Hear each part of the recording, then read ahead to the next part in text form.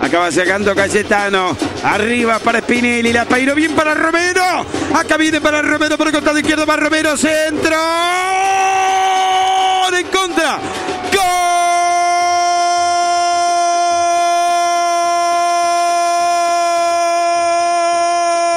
Gol de Deportivo Maldonado de los Santos. En contra. La pelota la peinó Spinelli por el costado izquierdo. La jugó Spinelli hacia la izquierda. Saltó, se elevó. Se amacaba la blonda Melena en el parque rodó. Vino al costado izquierdo. Y allá fue Romero. Metió un centro con rosca bailado. Nadie la sacó en el primer palo. Dufurro pudo y se la llevó por delante Guillermo de los Santos. Y a los 41 minutos de la primera parte. Abre la cuenta en el Parque Rodón el Francini. Pasa a ganar Deportivo Maldonado. Gana la visita ahora. Deportivo Maldonado 1, Defensor Sporting 0.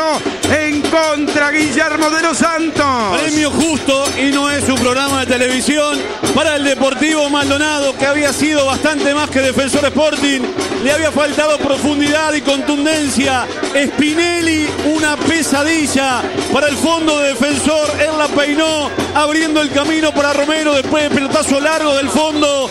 Y la presencia del argentino perturbó al fondo de defensor la fatalidad del zaguero y una ventaja que condice con el trámite del partido. Habitab, hacemos la vida más fácil.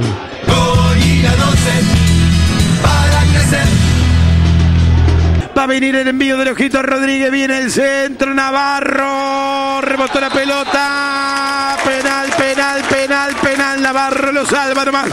Penal de Cayetano. Mano de Cayetano. La fue a buscar Navarro en el primer palo. Le dio de taco a la pelota después del pique. Le pegó la mano a Cayetano. Dice el árbitro sin dudar.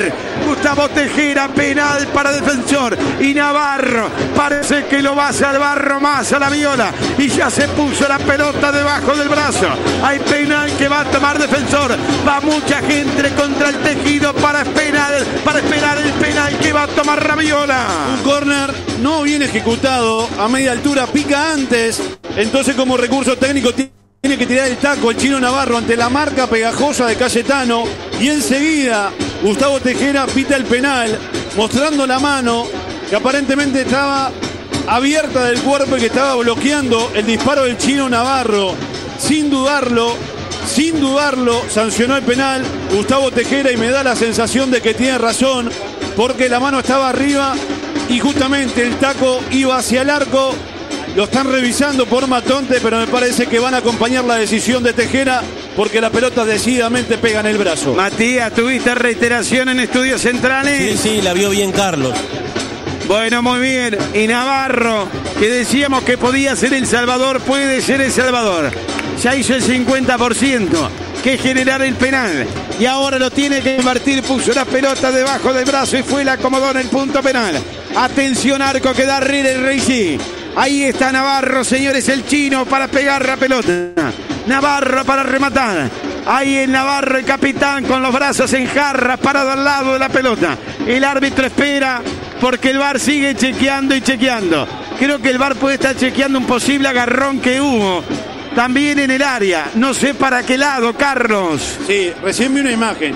La toma que mostraron no clarifica, no se ve claramente el brazo porque la toma me parece que no es la mejor.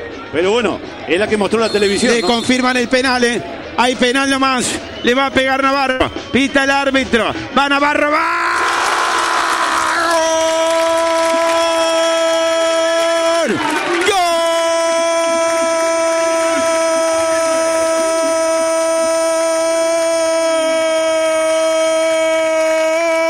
¡Gol de defensor Navarro!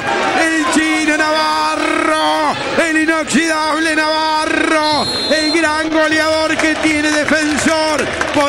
pasar los años, pero Navarro sigue estando vigente, sigue teniendo el olfato goleador, sigue pesando en el área rival.